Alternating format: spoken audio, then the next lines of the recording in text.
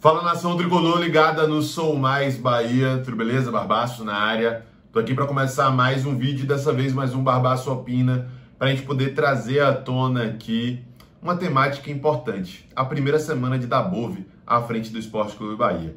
Ainda não teve jogo, a gente ainda carece de uma análise prática daquilo que está sendo desenvolvido no dia a dia, mas dá para a gente trazer algumas percepções acerca do que tem sido aplicado, do que a gente tem de acesso à informação e daquilo que a gente sabe sobre o treinador e o seu perfil, pelo que estudamos, pesquisamos e recebemos de informações, inclusive da live com Josa Novales e Bruno Garcês que a gente fez aqui no canal e a gente pôde entender um pouco melhor quem é Diego Dabove. Tá? Então vamos fazer esse apanhado sobre as iniciativas tomadas nessa semana e sobre as possibilidades de mudança daqui para frente e as consequências disso de acordo com a nossa perspectiva dentro das quatro linhas.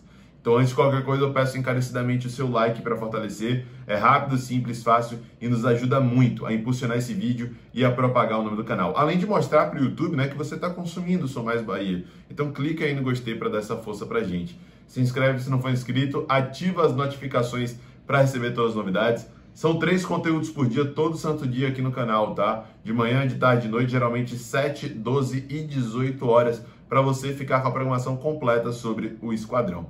Além disso, compartilha com geral para dar aquela moral e clica no primeiro link aí do comentário fixado para fazer a sua fezinha lá no site da 1xBet. Usando o código BBMP você consegue dobrar o seu primeiro depósito e facilitar mais ainda a sua vida. Lá as odds são muito altas, só comparar com as demais casas de aposta. A confiabilidade é absurda, nem se fala. Você vê aí a 1xBet espalhada pelo Brasil e pelo mundo. A diversidade também é extraordinária, não só de jogos, mas também de esportes. Tem muita coisa lá para você poder apostar. Então não perde tempo clica no link do comentário fixado, usa o código BBMP e aproveita, beleza?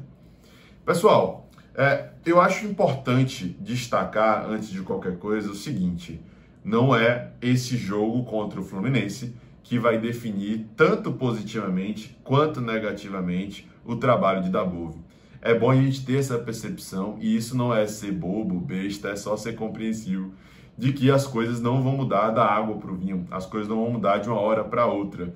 E a gente sabe que existe uma relação bem difusa e às vezes até confusa entre desempenho e resultado.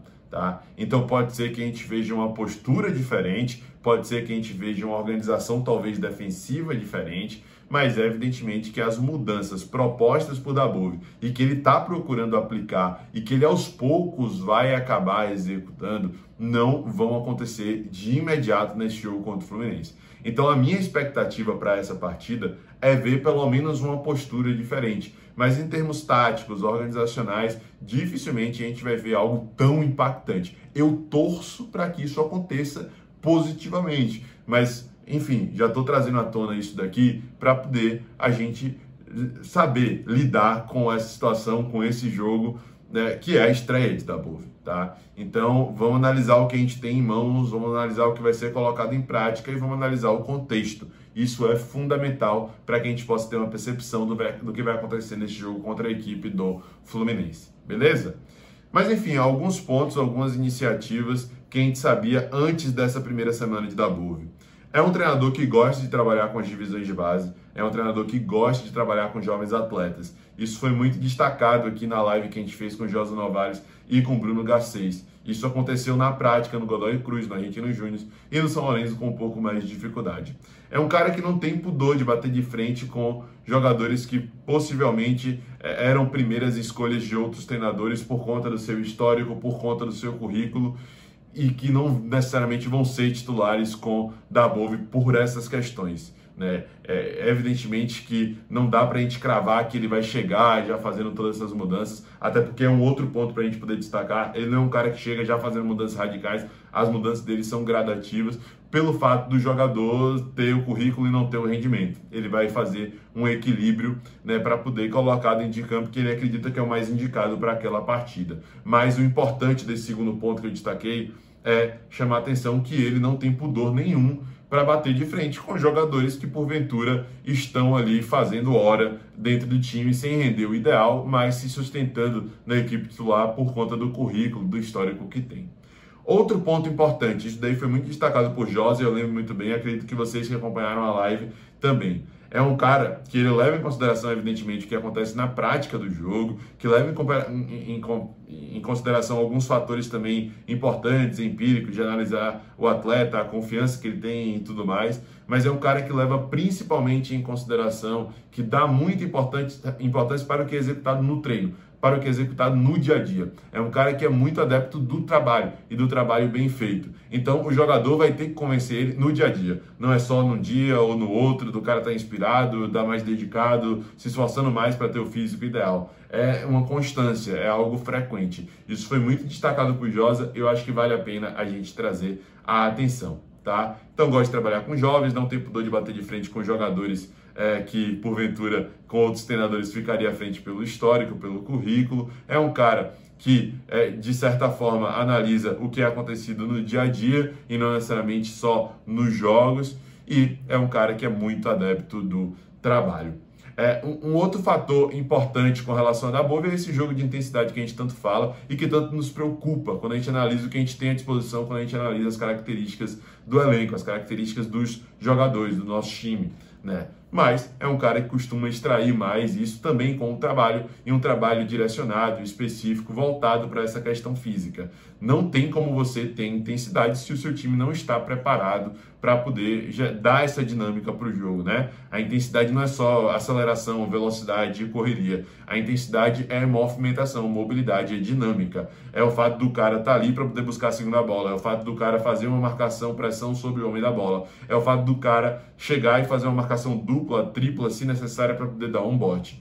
Tá? Então, isso é intensidade, é você, em determinados momentos do jogo, empregar uma dinâmica um pouco mais forte para poder aproveitar dos espaços cedidos pelo adversário. E é essa a expectativa que a gente tem, mesmo com jogadores que a gente acha que não estão tão adequados a esse jogo. Então, a intenção de Daboy vai ser ou colocar jogadores com esse perfil, ou tirar é, esses caras que, que não estão agregando nesse sentido, ou fortalecer fisicamente esses jogadores para que eles possam se adequar a esse estilo de jogo apanhado geral sobre quem é da Bove, que a gente já falou muito aqui no canal. Atitudes dele ao longo dessa primeira semana. Dormiu no CT. Primeiro dia ali, ele, a comissão técnica. Pode ser algo extremamente relativo isso, pode não dizer muita coisa, mas mostra pelo menos pela iniciativa que é um cara que está empenhado, que é um cara que está se dedicando para poder fazer algo diferente, para poder mudar a realidade do Bahia hoje. Tomara que na prática funcione. A iniciativa é bacana, é louvável e chama a atenção, tanto que foi divulgada pelo clube e muita gente comentou.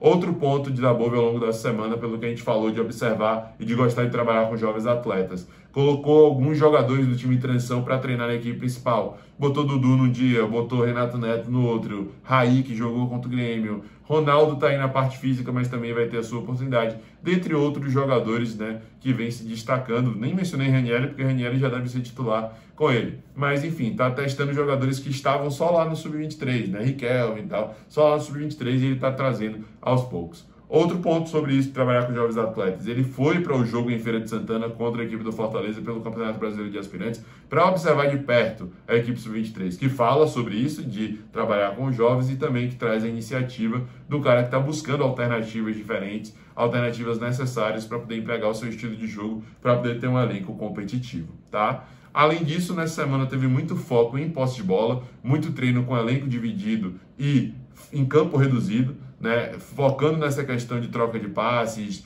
de estar tá ali encurralado, de encontrar a melhor alternativa, o jogador livre para poder ter uma movimentação maior, para poder ter uma mobilidade maior, uma dinâmica maior para esse jogo dele poder funcionar. Focou muito na parte física, tá? Por que, que eu tô falando isso? Pô, todo treinador bota o cara para treinar a parte física, sempre tem ali em algum momento treino com preparador físico e tal. Mas teve um dia, por exemplo, dessa semana que o, o Agostinho Buscaglia, que é preparador físico da comissão de Dabove, fez esse trabalho físico antes do treino técnico, depois teve o treino técnico com a parte tática ali junto com o Dabove e os seus auxiliares, o Walter Riboneto e o Guilherme Formica, e depois ainda teve outro trabalho físico, atrelando a parte física com a técnica, junto com Luiz Andrade, que é o preparador físico fixo do clube. Então ele está focando muito nisso. Sempre a atividade começa com isso, sempre tem essa mescla do físico com o técnico para que os jogadores possam ter uma percepção da prática, do jogo, do que vai acontecer dentro das quatro linhas, né? Porque não basta ele estar tá forte é, e não conseguir executar o seu melhor futebol, e não basta ele executar o seu melhor futebol se não vai conseguir recompor, se não vai conseguir marcar intensamente, se não vai conseguir fazer a diferença ali dentro de campo também com essa parte física.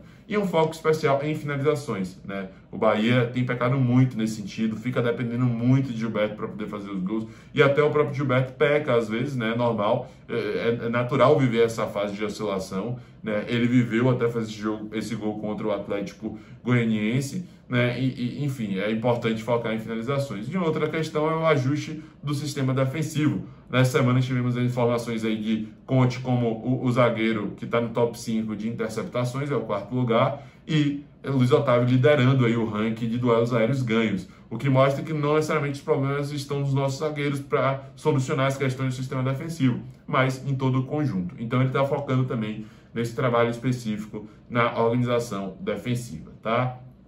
Então esse é um apanhado. Foi isso que aconteceu ao longo da semana, né? foi isso que acabou sendo desenvolvido. Na prática, não tem como a gente saber, a gente não está acompanhando ali o treino do dia a dia mesmo, a gente só tem uma noção do que aconteceu e evidentemente que mesmo a gente sabendo, não é só o treino do dia a dia que vai mostrar, é o jogo também que vai mostrar se o trabalho está sendo bem executado, está sendo bem feito. É o primeiro passo contra o Fluminense, não vai dar para julgar absolutamente tudo, mas eu acredito que já teremos uma postura diferente. Tomara que na prática isso aconteça, tá? Bom, pessoal, é isso. Falei muito, mas eu acho que foi necessário, foi importante e eu espero que vocês tenham compreendido e que vocês possam colaborar difundindo esse vídeo, compartilhando com a galera, deixando o like, se inscrevendo, ativando as notificações. E é isso, tá? Tamo junto, galera. Um forte abraço. Eu sou mais Bahia, eu sou mais do Nordeste. E você?